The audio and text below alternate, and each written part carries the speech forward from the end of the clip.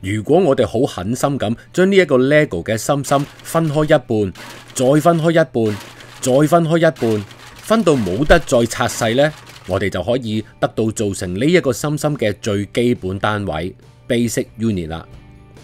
佢就係一粒紅色嘅 LEGO。咁同樣啦，如果我哋將啲 element，例如黃金，切開、切開，再無限次咁樣切開呢，切到冇得再切啦。咁我哋就可以得到造成呢一個黃金嘅 basic unit，我哋叫佢做原子 atom。大家唔好以為自己識得 atom 呢個字呢就好似好勁咁啊，走去科技嘅尖端。因為原來響古希臘已經有一位好聰明、精通物理、倫理、數學、教育、音樂、繪畫、作詩、雕塑嘅哲學家德穆克利特。佢喺大概二千五百年前呢，已經提出咗有關 atom 呢一個理論啦。佢提出萬物都係由原子同埋虛空所造成噶，而所有嘅事物嘅產生呢，其實只不過係 atoms 之間嘅組合啫。佢所提出嘅理論呢，到今時今日都有好大嘅影響力噶。而唔同嘅 element 係會由唔同嘅 atom 所造成，但係其實唔同嘅 atoms 都係由相同嘅 subatomic particles 所造成嘅啫。Subatomic particles 即係比 atom 更細嘅 particles。喺一九一三年，一個丹麥嘅科學家 Niels Bohr，佢提出一個 model 去解釋一個 atom 嘅 structure，稱之為 Bohr's model。佢提出嘅 model 咧，嗱簡單啲講咧，係指一個 atom 係由三種 subatomic particle 所造成噶，分別係比較重但係帶有 positive charge 嘅 protons。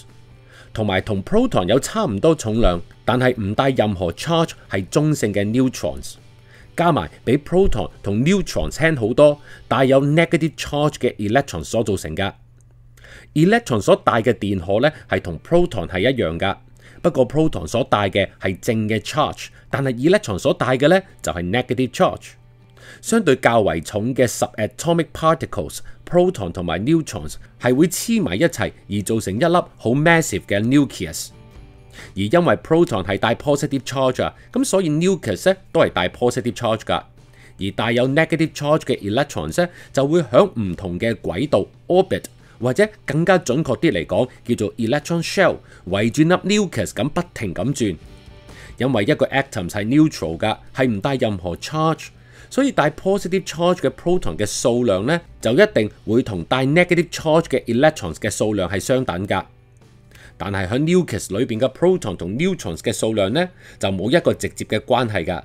但係佢哋之間嘅比例咧，係會有一個穩定嘅範圍。如果 neutron 同埋 proton 嘅數量比例係超出咗呢個穩定嘅範圍嘅話咧，咁個 atom 咧就變得好唔 stable，最終會引致核分裂 nuclear fission，產生大量嘅能量。呢一個呢，就係核電產生嘅原理啦。近年呢，科學家已經透過粒子加速器證實咗，原來係有一啲更加細粒嘅 subatomic particles 造成 proton 同埋 neutron 噶。已經證實嘅呢，就有六種唔同嘅夸克 quarks 同埋幾種包括 electron 嘅輕子 leptons，就可以造成宇宙裏邊所有嘅物質啦。但係當然啦，DSE 嘅課程就只會去到 proton、neutron 同埋 electron 嘅啫。但係如果大家有興趣想知多啲嘅話呢，咁大家不妨可以上網 Google 一下 stand up Model of Atom，咁你就會揾到好多相關嘅資料啦。另外一啲課外嘅知識呢，我都覺得幾有趣嘅，就係發現 proton 啦、neutron 同埋 electron 嘅 history。乜嘢叫做 Gold Foil Experiment？Careful Weight？邊個係 J.J. Thompson 等等，大家咧都可以 Google 一下噶。